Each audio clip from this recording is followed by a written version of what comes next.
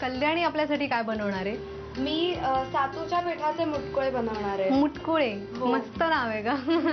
साहित्य काय सांगशील? अ, सातूचं पीठ. तेल तिखट कोथिंबीर त्याच्यानंतर बारीक चिरलेला लसूण मीठ आणि हळद. मुटकुळे बनवणार आहोत आता आपण. आणि कल्याणी काय करायचं आता? सगळ्यात आधी पीठ घ्यायचं. त्याच्यात थोडीशी हळद आणि तिखट घालायचं. तिखट. तुला तिखट आवडतं? हो खूप. खूप? मला गोड नाही आवडत. टाक बिंदास. आणि मग मीठ घालायचं. अच्छा. आणि लसूण हम्म. बारीक चिरायचा एकदम. हम्म. आणि मग कोथिंबीर. मला सांग आई तुझी जास्त तुझे लाड करते का आजी? आजी आजी. असं कधी झालंय का ग की अं, आई एखादी गोष्ट सांगते आणि आजी सांगते आणि तू तुला एखादी गोष्ट करायची आणि मग दोघींमध्ये मतभेद झाले त्याच्यावर असं कधी झालं? जनरली असं होतं की मला जे पाहिजे ते. ते ते होतं. हो. ते दोघींनाही हवं असतं. तू म्हणून करून घेतेस त्यांच्याकडनं राजी करतेस त्या दोघींनाही. आता ह्याच्यामध्ये? पाणी घालायचं आणि भिजवून घ्यायचं. अच्छा.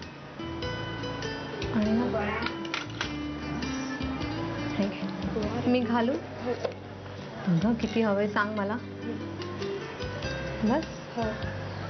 याच्यात ना थोडस गव्हाचं पीठ पण घालायचं. कारण नाहीतर मग त्याचे अं, हे मुटकुळे नीट होत नाही. अच्छा थोडं गव्हाचं. पीठ नेसेसरी आहे. हो. मग ऍक्च्युली तू जेवण बनवायला जेव्हा सुरुवात केलीस तुला जी आवड निर्माण झाली ती आजीकडे बघून बघून का आईकडे बघून? आईकडे बघू माझी आई खूप चांगलं जेवण बनवते आणि कसं आहे ना सकाळी आम- मला शाळेत जाताना आई पण जेवण बनवायची. हम्म. त्यामुळे ऍक्च्युली पोळ्या तर मी तिच्याकडे बघून बघूनच शिकले. भीती नाही वाटली पहिल्यांदा पोळ्या बनवायला बापरे लाटायच्या त्या गोल आल्या पाहिजेत. नाही मला पहिल्यापासून आवडतं बनवायला. नाईस अच्छा हा गोळा बनवून घेऊया मग आपण? हो चालेल. आपला छान असा हा गोळा तयार झालाय. आता काय करायचं? आता याचे मुटकुळे बनवायचे आणि थोडे बारीक बारीक छोटेसे बनवायचे ओके. हं? हे बघ. हो. अच्छा अच्छा नुसतं हो असं मुटकुळे हे बघ. मुटकुळे अच्छा.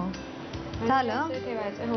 आणि याचं तुम्हाला काय पाहिजे ते शेप देऊ शकता. तुम्ही गोल ठेवू शकता किंवा. यु नो हे. असं पण छोटू छोटू पुऱ्या बनवून बनवू शकता हे हो अच्छा. मग आता आपण आपण मुटकुळ्याच बनवूया का? हो मुटकुळे हे एखादा मी दाखवलं. अच्छा. मस्तच. आणि आता हे काय करायचे आपण? ह्याच्यावरती उकडवून घ्यायचं ते. म्हणजे नॉर्मल पाणी खाली ठेवून भांड्यामध्ये हो, हो. तेल लावून वगैरे तेल लावून उकळून शिजून. मग. एकीकडे ठेवत जाऊया का? हो चालेल.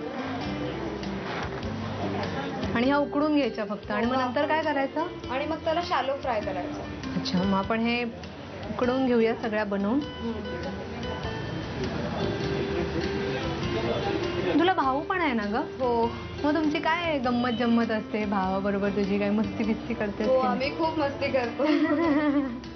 आणि तो आहे ना एकदम छोटा आहे ऍक्च्युली त्यामुळे तो असं म्हणजे त्याच्यासाठी मी लाईक अ सेकंड मदर आहे.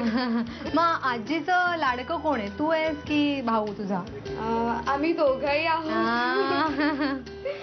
कारण सगळ्यात मोठी मी आहे ना त्यामुळे हा. माझे लाड जास्ती होतात. अच्छा. आणि त्याचे पण तो सगळ्यात लहान आहे म्हणून. शेंडे फळ. तर आपण हे झाकण ठेवून देऊया आणि उकडवून घेऊया. या छोटूशा मुटकुळ्या तयार आहेत वाफवून. आणि आता आपण त्या. फ्राय करणार आहोत घे हा आजी आजीने काही अशा सवयी लावल्यात का ग कारण साधारण म्हातारी आपले आजी. आजोबा यांचं फार आपल्याला सवयी शिस्तबद्धता असं काही तुला आजी कधी. ओरडते आजी त्याच्यावर मला एक गोष्टीवर खूप ओरडते की आता असं पीठ भिजवलं ना की. त्याच हाताने पाणी घेते मग तिला खूप राग येतो